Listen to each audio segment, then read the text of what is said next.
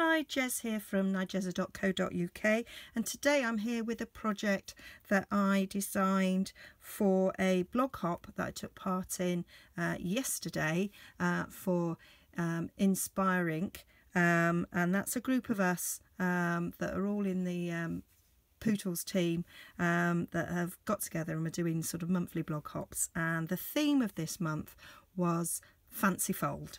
So I have done a fancy fold card and this is a what they call a never-ending card.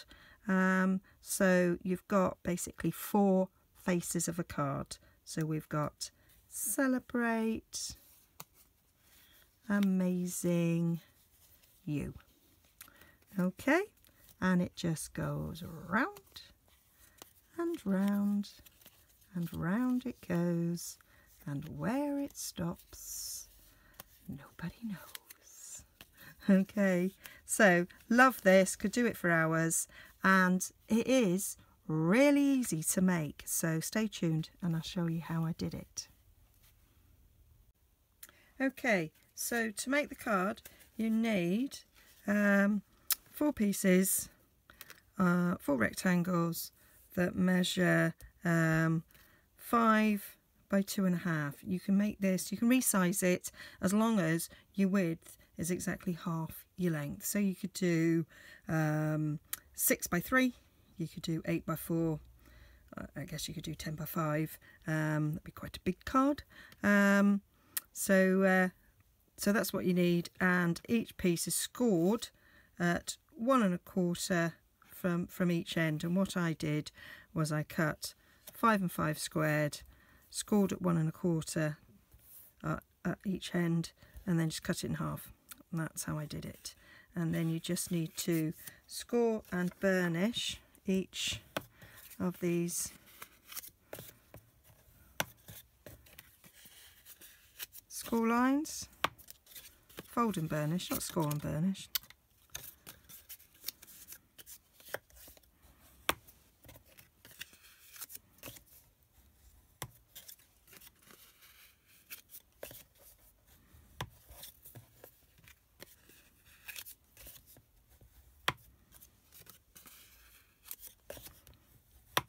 So that's it. So we've got our four pieces like that.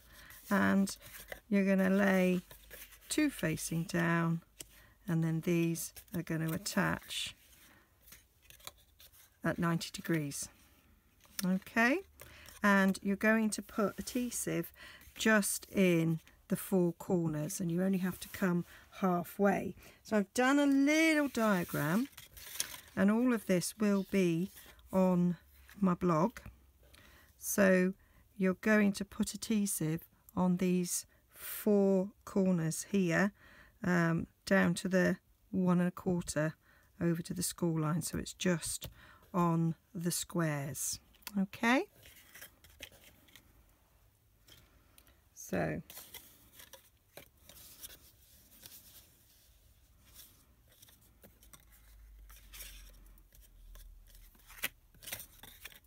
we're going to make a mark. I'd already marked that one. So we're going to make a mark one and a quarter up. I'm just going to use a pencil and with my ruler I'm going to measure one and a quarter. I'm just going to put a little line there so I can see it. And that's where I'm going to put my glue. I'm going to use Tombow just because I want a bit of wigglage. Um,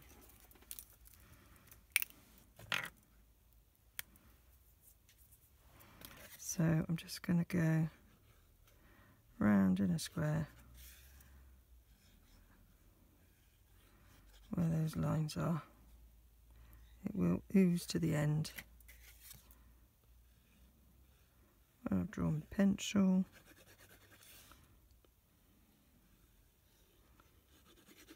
I love this card. It looks so complicated, but actually easy peasy lemon squeezy to make. So then with this going in the opposite direction and the folds scoring in the opposite direction, you just want to match it perfectly, which is why I chose Tombow. So that I can get it perfectly in place.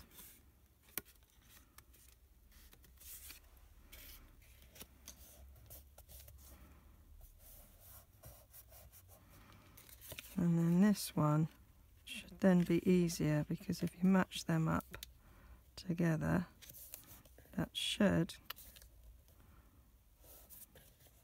go to those corners nicely.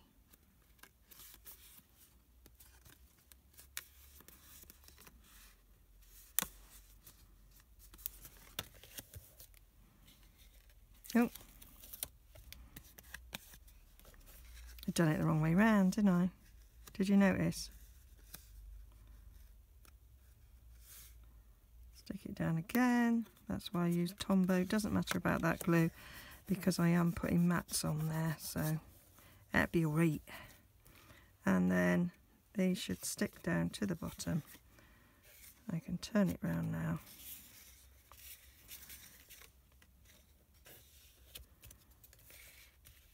And they should butt up and stick in place. And that is about as complicated as making this card gets.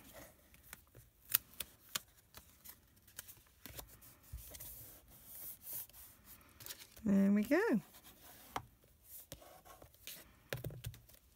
And then it will fold. And then when you first fold it just use your bone folder to help the folds. It does help if you haven't glued that side. Again that way. And again use your bone folder to help the folds. And then you should be fine. And then the more times you go around Really helps if you haven't done that. And then it will just then go and that's why it's called a never ending card and then it's just a matter of decorating it however you want it okay so then you've got that I'm choosing to be my first face that is going to be my second. Turn it around that way. That will be my third. And then finally that will be my fourth. And then we'll be back to the beginning. So it's important to decide um, how you want it to be uh, for when you're decorating. Okay so I've made myself a little sort of template. So and I've marked it that that's number one. That's number two that's number three and that's number four. And then I've chosen my designs based on that. Okay. Um, and to decorate this I am using um, the Celebrate You Thinlits which are uh, free um, with a £90 order during Sale-A-Bration. And I am going to use the Eastern Medallions um, Thinlits. I'm going to use some of the stamps from the Eastern Beauty and a bit of the Eastern Palace um, Speciality DSP. Okay, I think I've been using so much of the new spring summer I'm forgetting about the annual catalogue and this still remains one of my favourite things in the annual catalogue. Okay, so to cut the mats um, for each of the faces. Uh, for face one, this one, you are going to need two mats that are two and a quarter by two and three eighths. This is all going to be on my blog, so no worries about writing it all down and the blog link will be directly below um, and then you need um, four of uh, one inch by two and a quarter in the DSP and that's what you need for that. And then I have cut out of Dapper Denim the Celebrate which is going to go across the middle and I will just chop it at the centre piece so that half is on one side and half is on the other and we're going to decorate that outside. Okay, so that's mat number one. And then for mat number two, we are going to have two squares of two and a quarter by two and a quarter to go on there. We're going to have four pieces of, uh, two pieces of DSP, that's one inch by two and a quarter to go on these two sections here, and then four little one inch squares for each corner. And then these are going to all get um, decorated with the stamp set to make them look pretty. Okay, so that's face number two. Face number three is this one, and I've cut um, bit like the first face.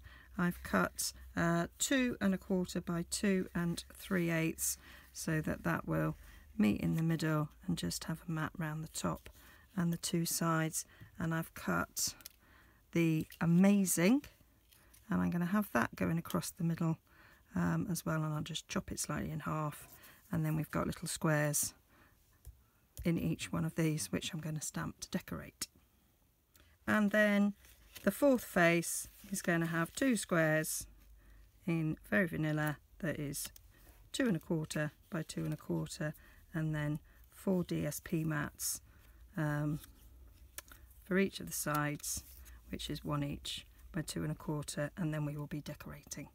Okay I say all the measurements down on my blog uh, just click on the link and you'll see them. So let's start having the fun. So in order to do this we want to uh, decorate um, these pieces that are going to get stuck on here. So we're using some of the decorative elements um, in here and we're going to use that corner piece. So with some Denim uh, ink we are going to uh, stamp into the corners. I'm going to get my stamping mat here because they're photopolymer and although I'm on my grid mat um, I'm going to give myself a little bit of extra cushion and make sure I got the right way so just going to put that in the corner and I'm going to put it in that corner as well.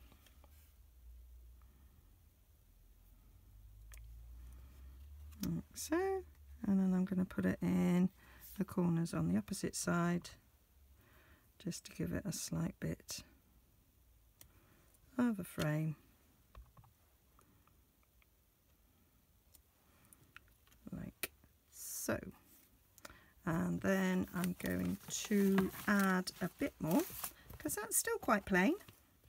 Just give my stamp a bit of a clean and I'm going to use the little dots so we've got these three dots and I'm going to have them in the centre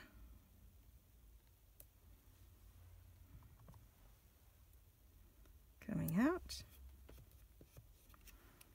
And then I'm going to do it on the other side to match up.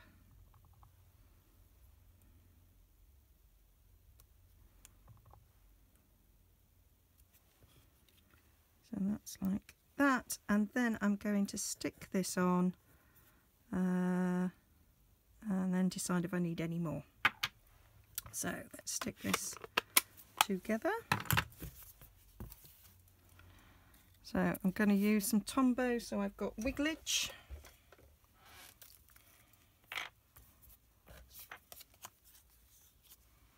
So I'll just do some glue and edges and stick that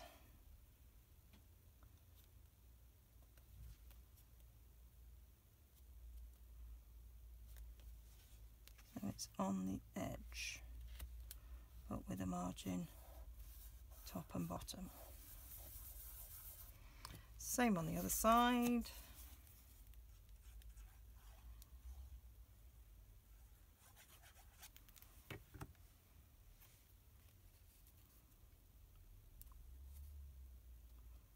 Want it to sort of match that side.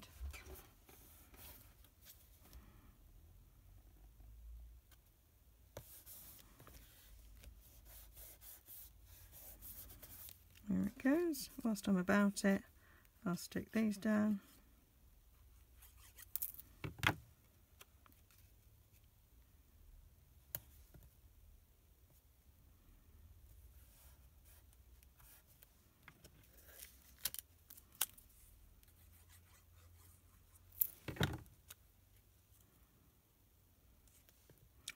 Thought this would make, using these colours, a nice masculine card.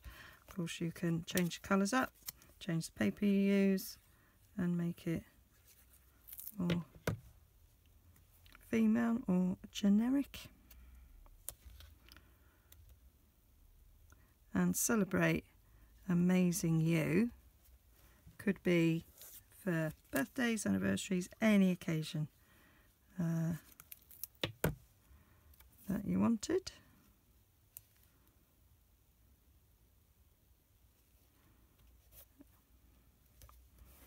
There we go. Right, so we're just going to snip that. I was hoping it would go over that smudge and it has. Absolutely brilliant. So, snips and I'm going to snip it where that goes like that. So that we'll have the celeb and then right on that side. So a little bit of Tombow on these bits to stick it down.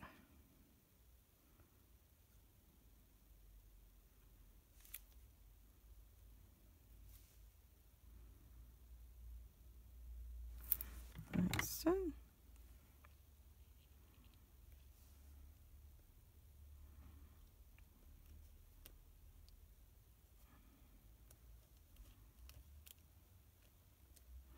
Going to get a block just to hold that in place whilst I stick this one on. Of course decoration is purely how you want it, this is just how I want it to do it. You can take the same dimensions for the mats but if you weren't putting a, something across like I am here then I would cut these mats to two and a quarter squared so you've got um, matting all the way around.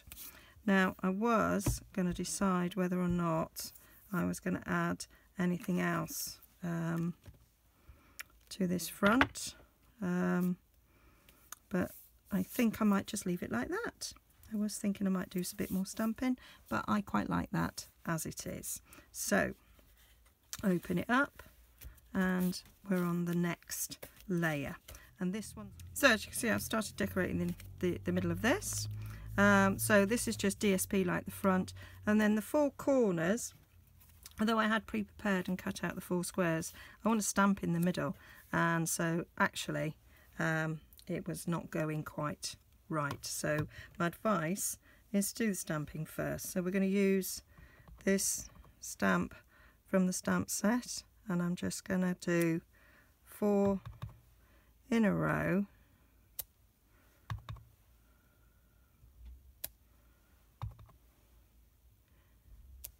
Okay and then you can cut them out um, into one inch squares and just to hurry it along I'm using a one inch square uh, punch. It's not Stampin' Up um, but I've got it, so I'm using it. You may well have a one inch square punch yourselves. If not, you can just cut it on a trimmer or a guillotine, whatever you've got. Okay, so that's my, and that gets them centered so much better than when I tried to um, stamp it on a pre-cut one. I even did it on both sides and uh, it didn't work very well.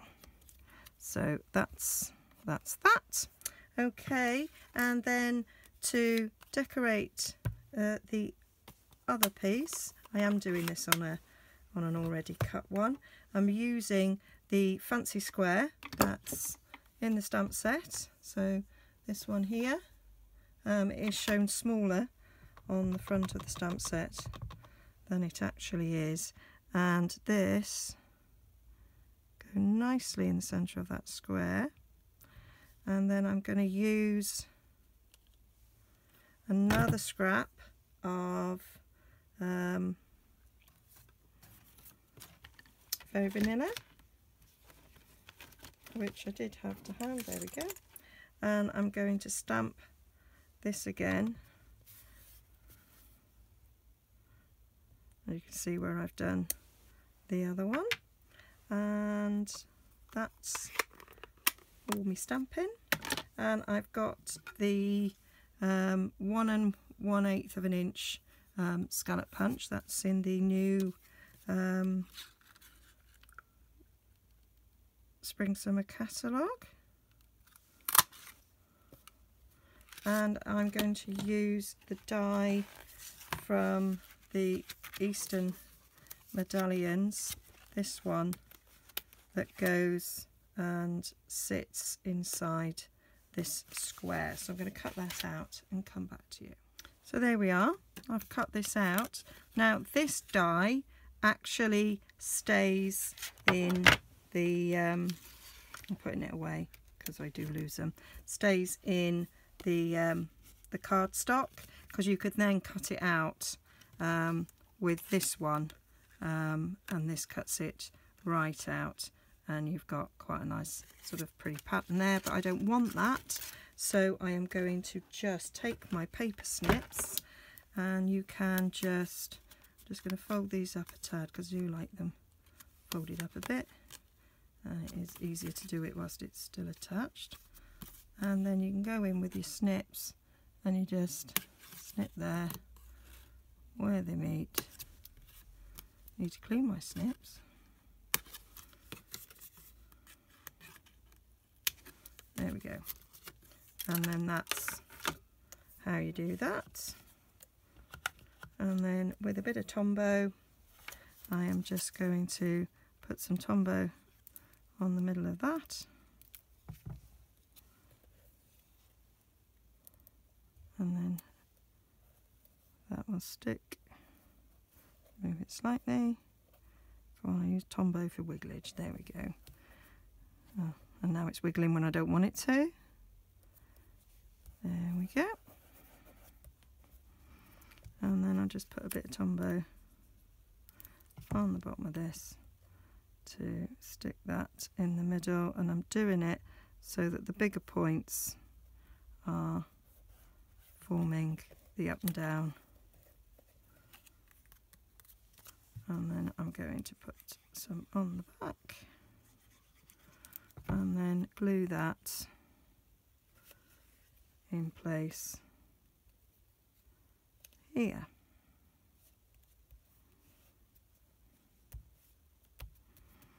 And then I just need to glue these four corners down, a little bit of Tombow, and I shall glue all the corners down. I'll carry on with that and come back. Okay, so that's those four sides all done. So we've got the first face, the second face, and then this comes the third face.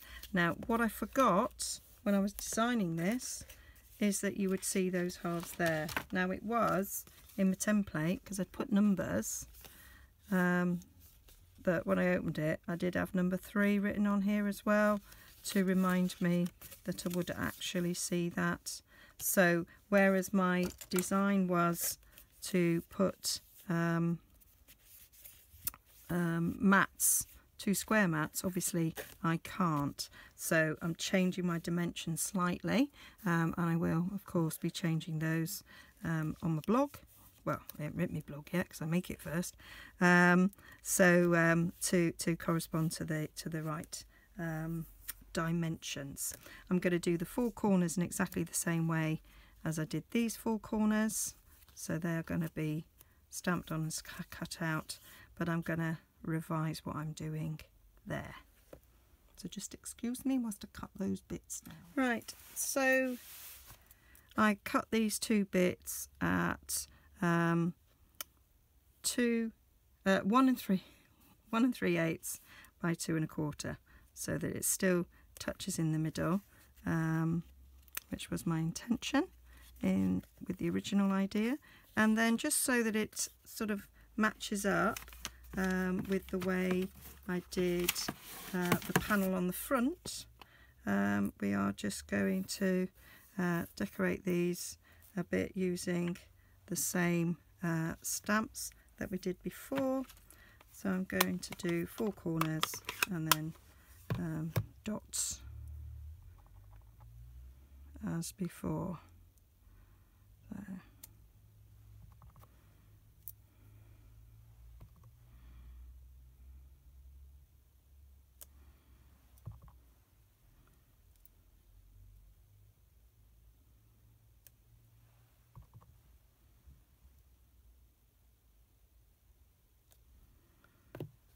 just me little dots did do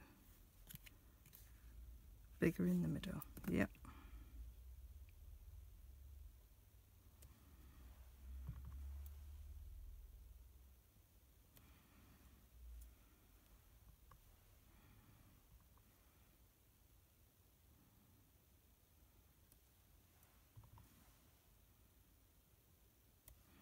There we go, that's the stamping done. And then all that remains is the sticking. Just going to give this a clean because with them being such small stamps it did go over the edge. And I don't want to end up in an inky mess. So I'm just going to put some Tombow around the edges up the middle. And we'll stick that on the one side butt it up next to that one. Like so. And the same. Oh with this one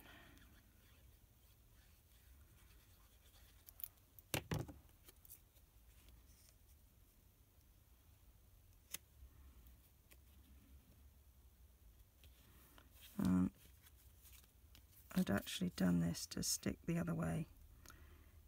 No worry, we will just wiggle a bit until it's where we want it. And then the amazing is going to stick across the middle and it will overlap slightly to where the pattern bit is um, so it will be seen a little bit um, in the previous um,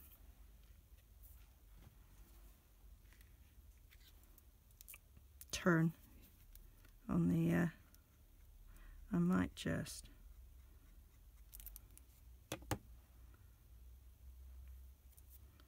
Do this this way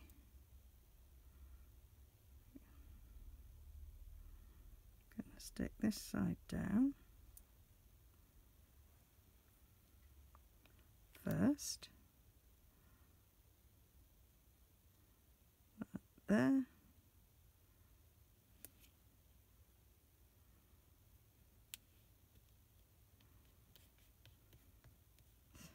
My adhesive remover will get rid of all those glue lines I am going to take my snips, which we're adding, and I will snip that up there, and then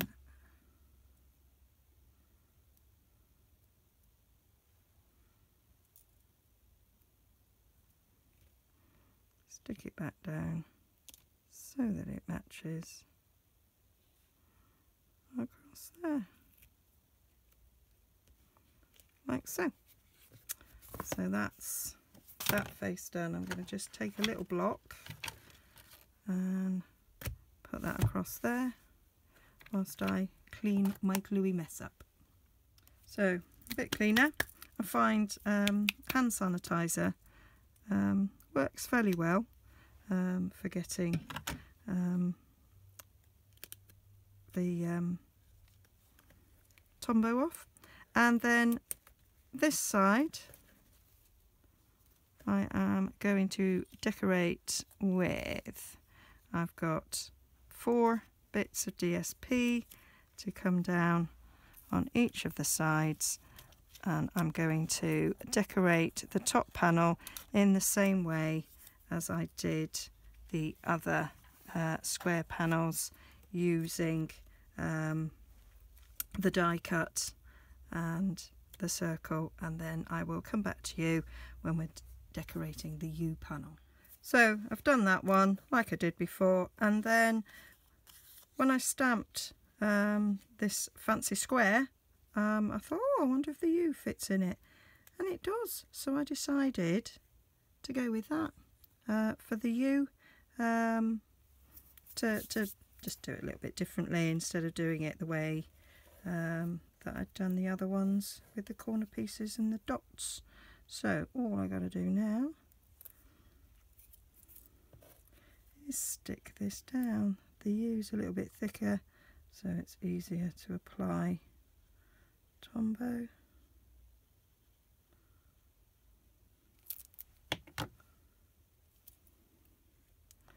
And I'll just stick that across the centre like so and then stick it down. And as you can see I use this on a different card. Don't like to waste my card stock and you can't see what was previously stamped on the back. So it's good for another card.